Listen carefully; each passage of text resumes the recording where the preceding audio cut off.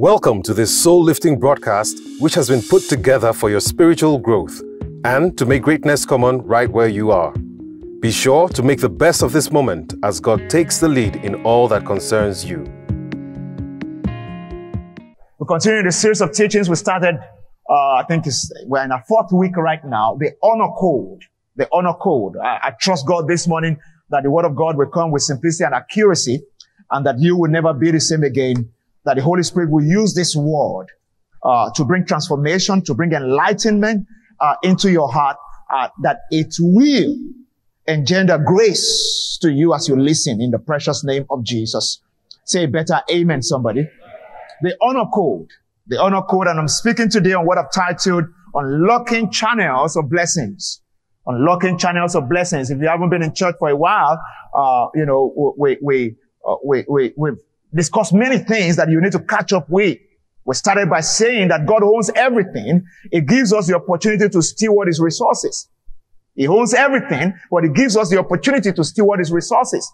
First Corinthians 4 from verse 1, just like we sang this morning, that God's gift look, looks good on us. Uh, Paul, the apostle, made bold to say there in First Corinthians 4 and verse 1, he said, let man so consider us, let a man so consider us as servants of Christ and stewards of the mysteries of God.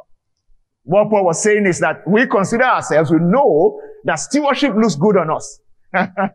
so when you see us, see us as servants of Christ and stewards of his mystery. When, how do you see yourself? That's one great pillar in this teaching that you and I need to see ourselves as stewards of God's gift. Yeah. As servants of God and stewards of God's gift and God's mysteries. And that includes the, the, the provision that God will bring into our, our, our lives. So we have emphasized the fact that everything belongs to God. All that we have, all that we are, and all that we will ever be, everything belongs to God. We are stewards. We will be held accountable and we want to be found faithful. So I wanted to say this after me. Say, I'm a steward. I will be held accountable. I want to be found faithful. Can we say one more time? Say, I'm a steward. I will be held accountable. I want to be found faithful. From the parable of talents, we realize that the ones who manage resources well is the one that is adjudged to be faithful. Yeah. It says, well done, good and faithful servant. You have been faithful in little and more shall be added to you. Many Christians pray for abundance. We pray for more, but we don't pay attention to what does God want from me in the, the level where I am and in the things that he has given me. Whether it is uh, uh, our time, our talent, or our treasure. Because when we discuss the topic of, uh, you know, biblical stewardship, a lot of the time we limit it to the treasure, to money. But it starts with your time. And we committed one Sunday to that. We talked about our talent. We committed another Sunday to that. So if you have not been around, you need uh, to follow through and get all these things. We've said that time is a convertible currency. And somebody listen to me today. If this is all you will do this week, that you will devote more time to something that is very important to you, like building your marriage. Because when you see a marriage that's been neglected, you will know because of the way it looks. But you, if you see one where time has been invested into it, you will know. Somebody listen to me this morning. You're in church to pray about that business and to ask for divine intervention. But will you invest a little bit of more time this week to think through that business? Holding yourself accountable as a good steward of the 24 hours a day that God will give you. Because if you invest more time in that business, definitely uh, God will show up and you will see the end of God. Most of the time is that we have not covered our own side of the bargain and we keep bombarding heaven. And heaven is saying, pay attention to the earth first. pay attention to the things that you are supposed to do. Glory be to Jesus. Praise God. And last Sunday we emphasized the need for us to pay attention to Matthew 6 and verse 24. Yeah. That is either you serve God or mammon. There no, there, there, there's no middle ground. Yeah. You remember that message? Wait, wait, wait, wait. You know, we emphasize the difference between, uh, uh, uh, the rich guy that met Jesus and Jesus said, go and sell everything and come and follow me. And the guy went away sorrowful. And Zacchaeus, who met Jesus, and he said, you know what? Without you talking to me at all, I just feel maybe some conviction right now in your presence. I'm going to, you know, sell everything I have. I mean, I'm going to give half of my wealth to the poor. And if I've collected anything from anyone unjustly, I'm going to repay them for full. And Jesus said, today salvation has come into your house. And, yeah, and he said there, he said, you can't serve two masters. It's that you honor one and disdain the other. It's either you are loyal to one and despise the other. And he says you cannot serve God and mammon. Many Christians would have preferred that God will put there, you can't serve God and Satan. Because some people think that if people don't serve God, it's Satan they will be serving. But many people are not serving God or they, they, they are Christians, but they're actually serving money. For us as Christians, our problem most of the time is not the devil. The devil is an issue, but it's not the main issue because we, we have power over him. We have victory. If we're truly working in our victory, the devil is not the problem. They are the things that we get him into bondage with. Those are the real issues. Because if money has been causing problem in your family, you are the one that opened the door to the devil. If you practice real stewardship, openness and accountability, accountable to God first and to your partner, then money will not become something that can scatter your family. Somebody stay with me today. Say better amen if you're still here. So talking about channels of blessing, I'm discussing the stewardship of our treasure. Now that we have a bit of mindset that aligns us with kingdom principles of stewardship, the stewardship of our treasure. Let's read from 2 Corinthians 9. I'll read from verse 8 to 10 in the Amplified Translation. 2 Corinthians 9 from verse 8 to 10 in the Amplified Translation. It says, and God is able to make all grace, every favor, an earthly blessing come in abundance to you so that you may always, under all circumstances, regardless of the need, whatever type of need, have complete sufficiency in everything, being complete, self-sufficient in Him, and have an abundance of every good work, an act of charity. Uh, uh, and it is as it is written, and forever remains written. He, the, the benevolent and generous person, scattered abroad, gave to the poor, his righteousness endures forever. Now he who provides seed for the sower and bread for food will provide and multiply your seed for sowing. That is your resources and increase the harvest of your righteousness, which shows itself in active goodness, kindness, and love. The Lord bless the reading of His word. Now, what we're speaking to this morning is my mindset when it comes to the treasure at my disposal, what God has given me. What, what is the biblical stewardship framework or mindset that every believer should have when it comes to money? You know, money is an important topic. Yeah. Money, you know, always makes the news every day, every day. Yeah. If I say anything now that seem like, you know, table shaking, it will make news tomorrow because it's money. Yeah. But if it's about what? if it's about something else, notwithstanding how table shaking it, it, it, it, may be, nobody will talk about it tomorrow. Because some people are going to uh, hear things in church, you know, about money or about other things, and it's unresolved on your mind until you get to work on Monday, and you're going to discuss it with somebody because it's still bothering your mind, and that's what happens a lot of the time. And rather than going back into the scriptures, lot of people go and discuss it with people who don't know the context, who don't understand what we're talking about. And then they confuse you the more. That will not be your portion in Jesus' name. Say better amen, somebody. 2 Corinthians 9, 8 to 10 there. The scripture talks about something, especially in the final verse, uh, where, where it says, now, he who provides seed for the sower and bread for food will provide and multiply your seed for sowing. He who provides seed to the sower and bread for food, yeah, bread for food, said it will multiply. Okay, you're showing Amplified Classic and I'm reading Amplified. I think you don't have that. You should have signaled me. Praise God. it creates some, uh, okay, but it's okay. I, I, I can, I can do it. I can make do with this. And God who provides seed for the sower and bread for eating will also provide and multiply your resources. Uh, what the apostle Paul was quoting here is found in Isaiah 55. Give me Isaiah 55, New King James Version, from about verse 7. Isaiah 55 from about verse 7, quickly. Isaiah 55 from about verse 7. Right?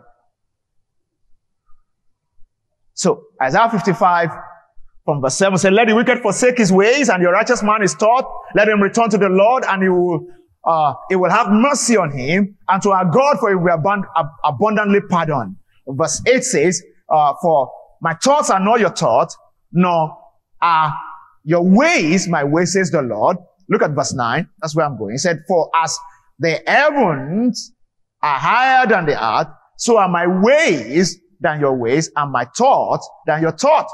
And he said, let me compare it this way. Verse 10, he says, For as the rain comes down and the snow from heaven and do not return there, but water the earth and make it bring forth and bud, that it may give seed to the sower and bread to the eater. That was what Apostle Paul was quoting there in, uh, in 2 Corinthians 9 and, and, and verse 9 and 10. Uh, when rain comes down from heaven, because God was saying the way you leverage my word and get something out of it is the same way the earth leverages the rain that comes from heaven and comes upon the earth. And he said there are two objectives for it. The end game for my benevolence of releasing rain on the earth is that there will be one seed to the sower and then bread to the eater. That means God says, when I cause rain to come upon the earth, two things will happen. Two ways you appropriate my benevolent grace or my act of divine provision. When I provide for you, the two things that will come out of it, it can either be that you, I mean, that you get resources and it can either be seed for sowing or bread for eating. A lot of the time, many people have the mindset that everything that God has provided for me is bread for eating. And that's a wrong mindset. Some of that time, some people have the mindset that everything that God has provided for me is seed for sowing. When you see such people, you think that God has not blessed them at all. yeah. Because everything just flows out. Uh, nothing is retained. Some people are so futuristic. They are currently useless to themselves and to their families. Everything that God gives them is for the future. And you know, whoever has a seed today is the one that has a future, actually. So what I'm saying is that such people, they think that everything is seed. No bread at all. No bread. Everything is seed. Let me give a second mindset come, I'll come back to this seed and bread. Another mindset that every believer should also have is what we found in Luke chapter 20, when you read from verse 20. They came to Jesus. Please hold the first one, bread and seed. I'm coming back to it. But the second mindset is they came to Jesus in Luke, Luke chapter 20 from verse 20. Let's read it together. Uh, uh, uh, uh I'm just going to read it from Luke chapter 20 from verse 20 down to 25.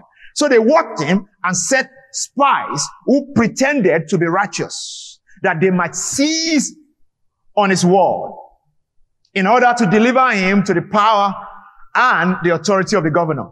Verse 21 says, Then they asked him, saying, Teacher, we know that you, uh, that you say and teach rightly, and you do not show personal favoritism, but teacher, uh, but teach the way of God in truth. Verse 22 says, they ask him the question, is it lawful for us to pay taxes to Caesar or not?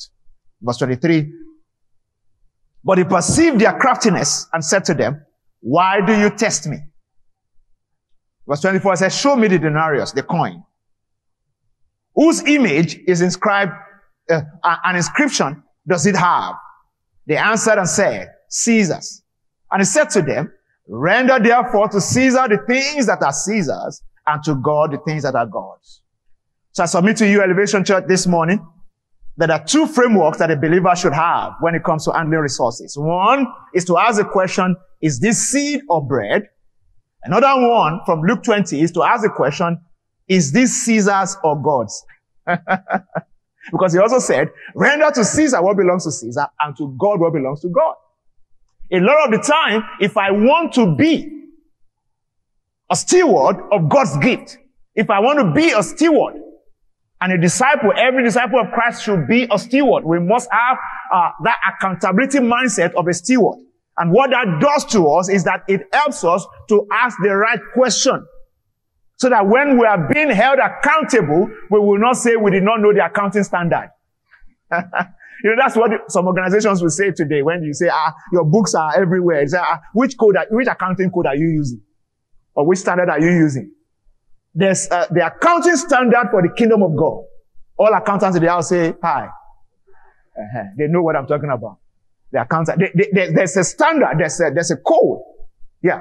With which you write your reporting, financial reporting, we call it. There's financial reporting standard for every region of the world. And now the world is even trying to harmonize it. In the kingdom of God also, we have like a reporting standard. And those reporting standards are based on what I'm sharing this morning. And th- those are the things that open us up for real channels of blessing, real blessings. Is this bread or seed? Does this belong to God or does it belong to Caesar? Because Jesus said, give unto God what belongs to God and to Caesar what belongs to Caesar. So learn to differentiate which part of your earning is bread to eat and which part is seed to sow. They're not the same. We always need to learn to, to recognize this. Is this bread or is this seed? Yeah. Is this bread or is this seed? Bread to eat, seed to sow. There are things also that belongs to God and what belongs to Caesar. Caesar can mean anything to you. There are Christians who don't pay taxes. there, are, Christians who don't, who don't want to pay certain fees, certain things. And they want to use the favor of God to exempt themselves from it. you know, there are things that favor will exempt you from. But there are some things Jesus said belongs to Caesar, give it to Caesar. And what about things that belong to God? Those also fall under seeds that we need to sow. There's been all kinds of talk about tithing in the last two or three years, especially here in Nigeria. And nothing can be further from the truth. There are things that belong to God. There are certain part of your earning that is not practically your own, that needs to go back to God. He's the giver of all good things. And God expects us to honor Him. See the diff, I'm going to share more about that maybe next week. The difference between the Old Testament and New Testament is that one is done under grace. We honor God just like you honor human beings, not under compulsion. But does it have a reward? Does God recognize it? Yes. In the Old Testament, if you don't bring it, you die. They do something bad to you. In the New Testament, nobody's going to kill you for not bringing it, but whatever benefit that you accrue for doing it it will still not come to you. Because you're supposed to do it under grace, no compulsion. You're supposed to do it with common sense, not the law. Somebody following me this morning. You're supposed to do it because you want to honor God, not because God is threatening you. I will say together. Yeah, they're two different things. I, it's my choice to honor you. Yeah. It's just like the song that we sing. Jesus, Jesus, it is with my pleasure that I praise you. It's my pleasure. It is my honor. You know, I chose to. I, have chosen to. You understand what I'm saying? Not because there's a set of law, like the law of Moses. They didn't have a choice. Grace respects my choice. Because it's not compulsion. But it does not tolerate lasciviousness or useless behavior at the same time. It does not tolerate lack of honor at the same time. I, I'm still expected to honor God notwithstanding. Are you still with me today? Let me go on. Let me, let me go on with this. So, when we talk about bread, let's break it down a little bit more. I'm probably going to stop with just bread today and next week we're going to discuss seed. So, somebody says, uh, say after me, say, my resources will either be bread or seed. Say, I want to be faithful to be able to identify my bread and then identify my seed. Glory be to Jesus. Can you put a slide on for me, the one that shows uh, seed, bread, God and Caesar? Can you put it up? Yeah. So this is one thing that I don't want people to forget. I don't want you to forget this, this imagery. Yeah. To be able to say, you know, there is seed, there's bread, there's God, there's Caesar. Everything under seed, we can say, those are the things that God expects us to return. Next week, we're going to break it down a little bit more. Whether you are giving to the poor, you're doing this and all that. Yeah. But when it comes to bread, there are also things like uh, Caesar kind of things.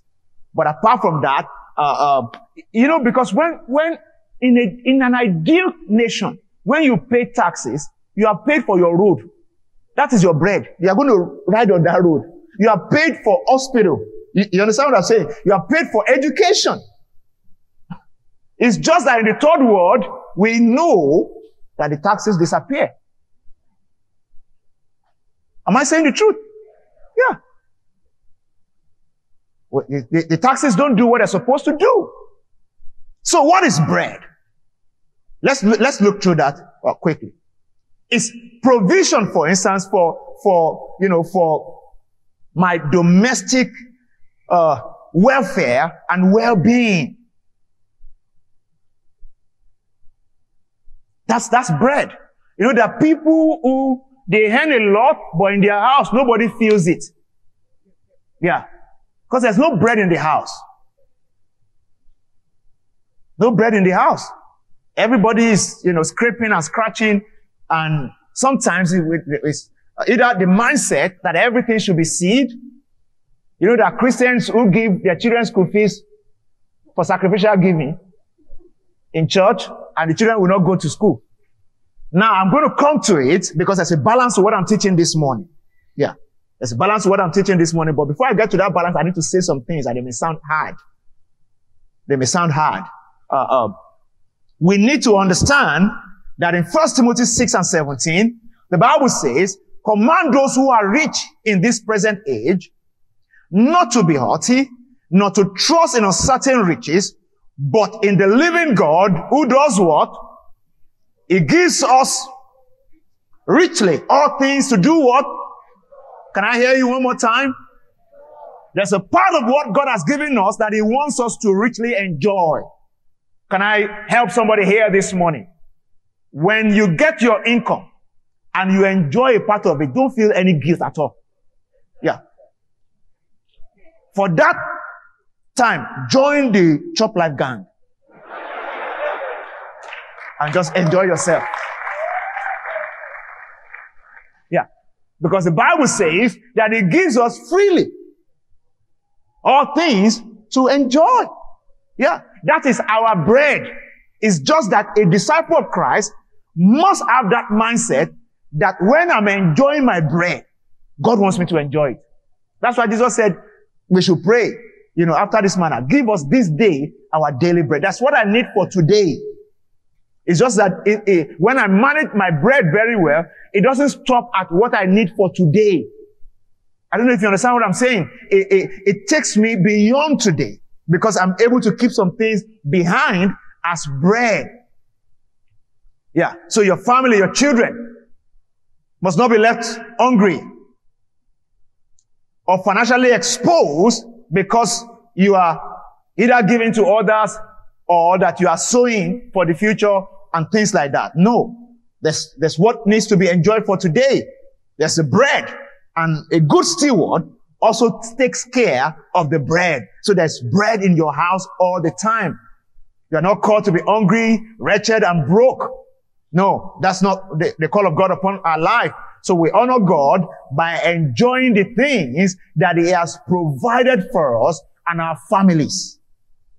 part of how we honor God is that people see the blessing of God in our life. You remember the story, let me digress a bit, of uh, the prodigal son. The prodigal son, the only problem with the prodigal son was his lack of financial uh, intelligence. What he did by asking for what belongs to him was not wrong. Because the one who never asked, when he came to the father, the father said, I've been waiting for you. You should have asked. Yeah. You should have asked. But you, you saw your brother asking and you thought, you know, he's a stupid boy, just want to enjoy, you know, and true to it, it was stupid, not because he asked, but because he was not prepared for the blessing. Is somebody say with me today? Yeah, he was not prepared for what he was asking for. Many a times people pray. You go from prayer house to prayer house asking for the blessing of God. But the issue is, do you have capacity for the opportunities that God will bring into your life? Because a lot of the time, when you don't have the capacity, what happens is that the, the thing can sweep you away. Because one of the things that will happen is you take everything and you think it's bread. And then you don't remember God again. You think everything is, that was what happened to the prodigal son. Carried everything, went, you know, uh, on his way and just spent everything anyhow. Riotous living, the scripture calls it. A believer that doesn't, that, that, that, that doesn't have a sense of separating his bread from his seed is living riotously. Yeah. Is the senior or junior brother of the prodigal son. or is in the same lineage of the prodigal son, if I can put it that way. Anybody that does not have, any believer that doesn't have any savings is a prodigal son or daughter of God. Yeah. Any believer that doesn't, nobody benefits from what you have. Even God doesn't benefit from what you have and you're spending everything on yourself. Yeah, prodigal son or prodigal daughter. And you know what happens. God is always merciful. Prodigal son or daughter can always come back home. So I'm calling such people back home today. Yeah. Yeah, our arms are wide open. Praise God. Yeah. So you, as you start to separate your seed from your bread, come back home and honor God with your life. Listen to all the messages in this series and choose to go on the path of the honor code and start to honor God with your life. So I hope somebody's getting something out of this. Yeah. So, uh, uh, I was, I was talking about the bread and the mindset that we need to have. It's not, you know, a, a, a mindset of just making everything bread, but some things that are bread must remain bread. So basic increase in your capacity when you invest in your capacity to earn more. That's still like your bread. It's what you retain. Yeah. That, that helps you to do that. Uh, uh, bread is only sown once in a while based on divine instruction. It can be threatening when God asks for your bread. I remember, uh, which year was that? Is it 2008 or 2009? I was praying, knowing that a season is coming where God wanted my wife and I, you know, to plant this church. And, you know, I used to pastor at this Christian Center. As at 20, 2007, I was already having some conversations with my pastor, uh, where we're talking about this church plant and all that. And, you know, we're just praying and say when the appropriate time comes. Ah, but in 2008, I think, I started to pray a particular prayer that God, what is the way to prepare for this next phase?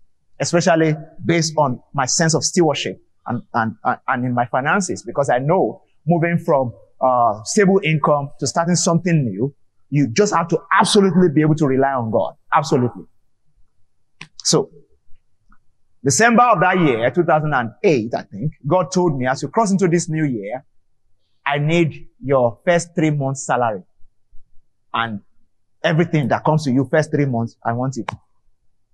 Let's circumcise you first. that was how it felt. He didn't say that one, but I heard it. That if somebody is asking for your first quarter salary, they just want to circumcise you. Yeah.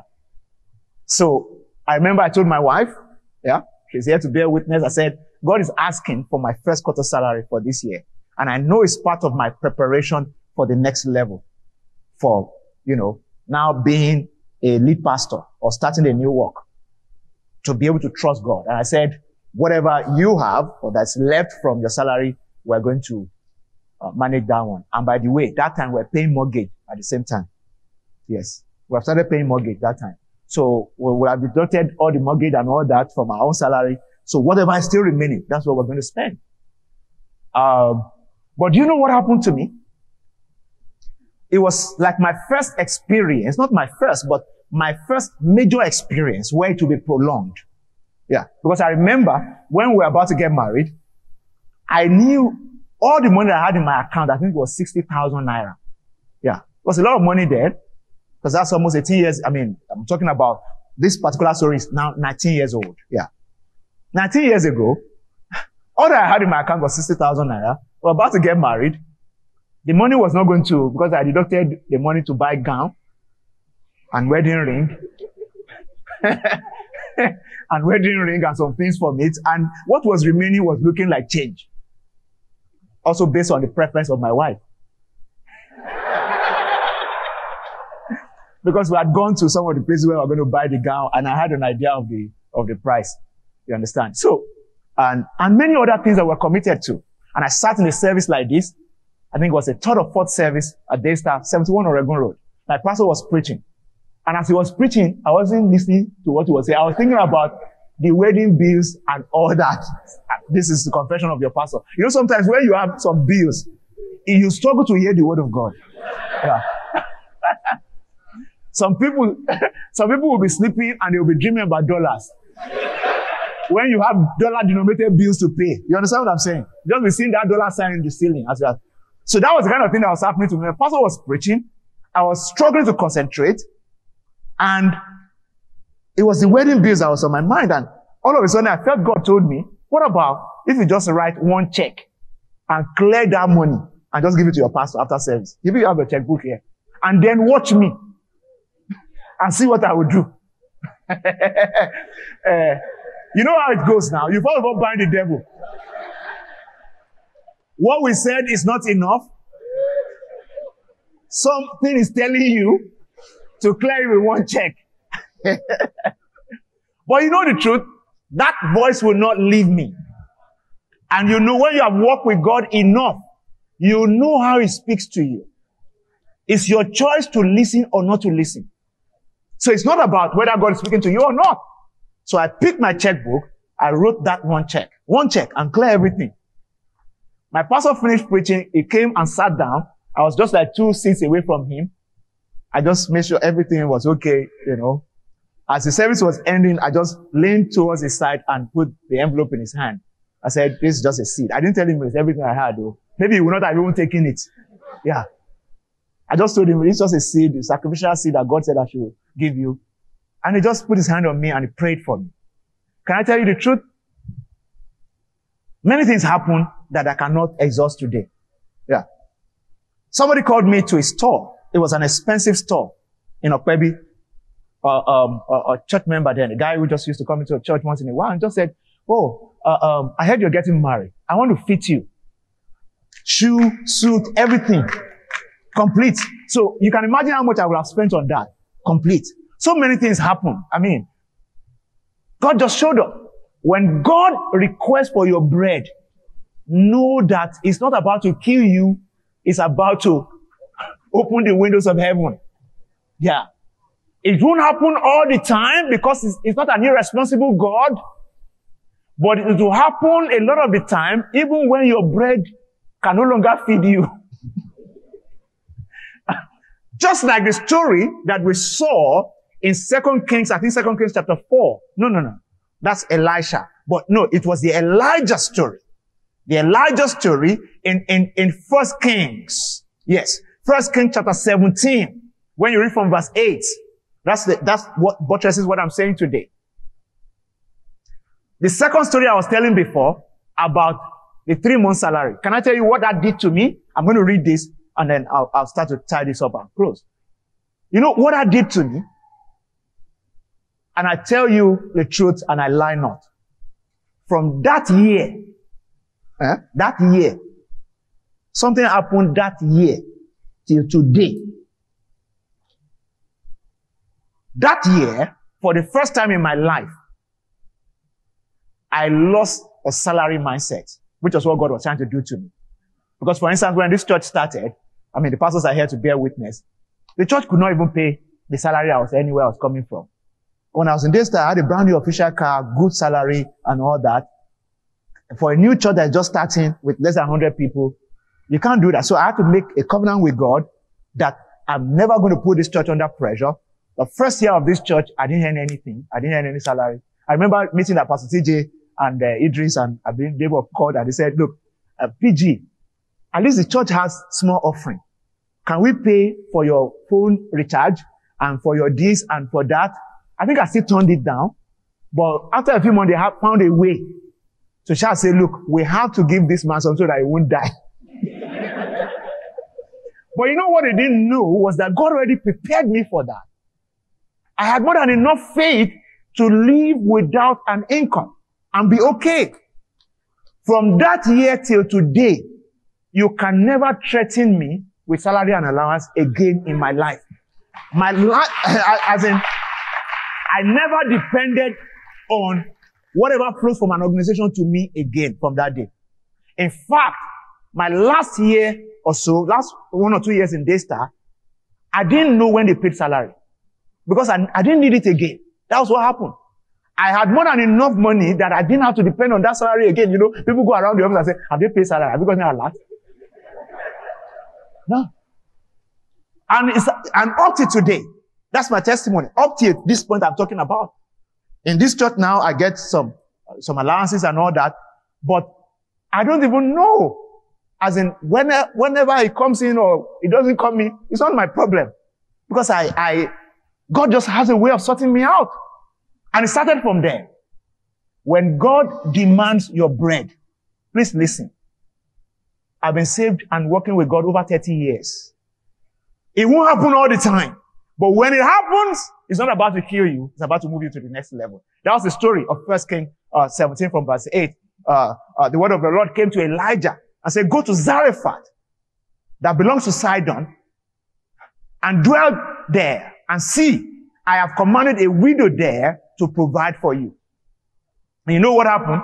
What Elijah did here, if a modern day pastor should do this, all the blocks will carry it this week. Yeah. To say a pastor went to a widow, a woman without husband, but with children, eh? Or with a child. And she had her last card. And the pastor was so callous, he collected it. I just need you to have this at the back of your mind. You know, there's some very callous pastors and people who con people with money. We're not talking about that. We're talking about when God gives an instruction. Because it looks like the media has only focused on such. And the last three years or so in Nigeria, it's been like, oh, pastors collect people's money and this, that, that, that. And many people have been robbed of a covenant walk with God with their resources just based on all the mudslinging in the media. Where do you pack Elijah? If you put it in, in that context, God told Elijah, go to Zarephath that belonged to Sidon. I have commanded a widow to provide for you there. Elijah did not ask God, why widow? I'm okay here. See, God was using a bird to feed Elijah before that time. The problem here was not Elijah. It was the widow that God wanted to preserve.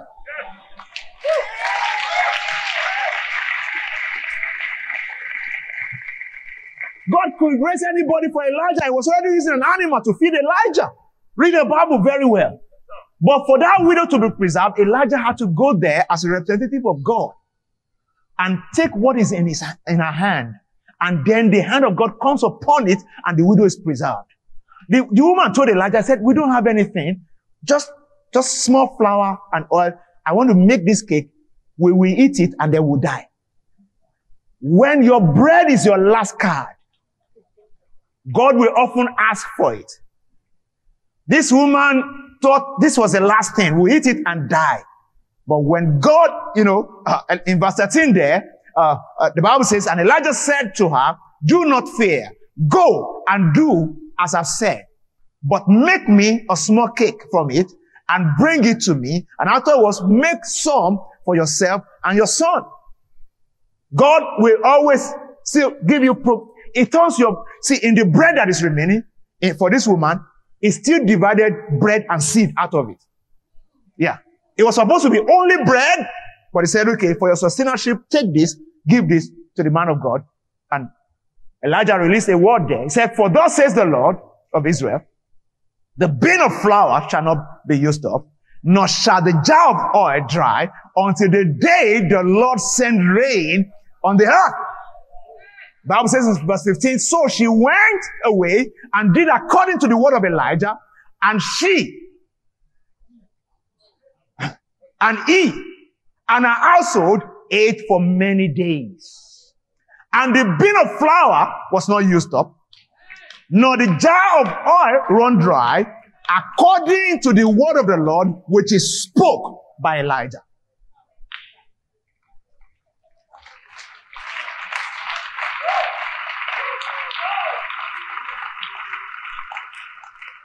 Ladies and gentlemen, I think I have to stop here. But I need everybody to understand today that we're living in a time that we need to rely on God the most. Yeah. But we need to rely on God. If there's somebody here that you have been playing games with God with your financial life, this is the time to rely on Him and choose to honor Him and rearrange your financial priorities. And just tell yourself, I'm going to honor God. I'm going to honor God. Next week, we're, we're going to break it down a little bit more as we speak about your seed. But make sure you have your bread. God wants to preserve you. But when He demands your bread, don't say it's my bread. You can't touch this. No.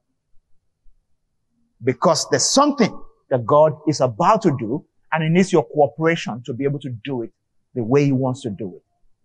May the channels of blessings open over your life May the heavens open over you in unusual dimensions this season. May grace be released over you as our world will be turned around and around this season. May God find you faithful. As He rearranges resources and influence this season, uh, may you be positioned to be trusted. May you be positioned to be found faithful. In the name of the Lord Jesus, lift your two hands to Jesus today and just let him know, Lord, make me a steward. Give me the wisdom of stewardship. Give me the wisdom of stewardship. Thank you for listening. We hope you were truly blessed. Please feel free to email us at info at elevationng.org for all inquiries or to share any testimonies. You can also follow us on our social media channels at ElevationNG to have access to real time updates on all broadcasts and special programs. Till we come your way again, Keep making greatness common.